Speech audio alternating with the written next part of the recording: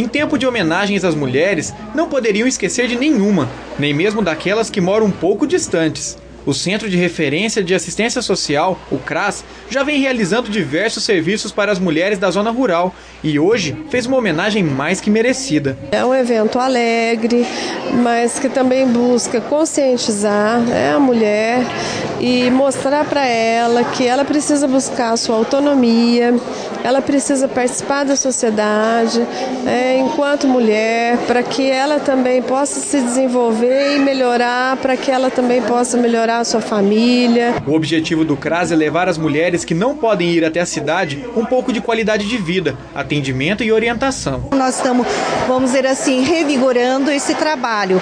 Então nós estamos atendendo a questão do Bolsa Família, né? Famílias que precisam de algumas outras orientações e nós vamos fazer também um trabalho de grupo de geração de renda aqui na, na zona rural. Além das orientações que já vêm sendo feitas, as mulheres puderam curtir um pouquinho de cultura através do teatro e da contação de história, que animou quem assistia.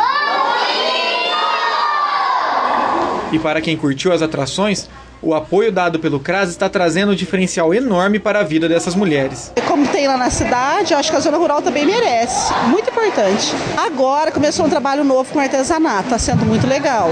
Aonde eu moro vai começar ainda e vou participar. Mas tem, eu acho mais fácil para fazer o cadastro do Bolsa Família, não precisa estar tá indo lá na cidade. Está sendo muito legal. Eu estou mais gostando porque sempre ficava difícil para a gente da cidade fazer esse cadastro, né? Tudo, né? Agora estão ajudando com nós porque estão vindo na zona rural, está sendo bem mais fácil para nós. E o evento aqui, tá curtindo? Tô curtindo, tá legal.